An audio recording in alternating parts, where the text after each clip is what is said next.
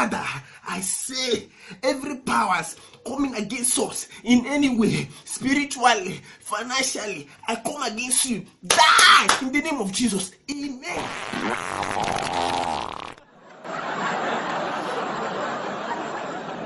Father, Father, release the anointing in the mighty name of Jesus. Be it my mother, be it my father. I come against you now in the name of Jesus. Die!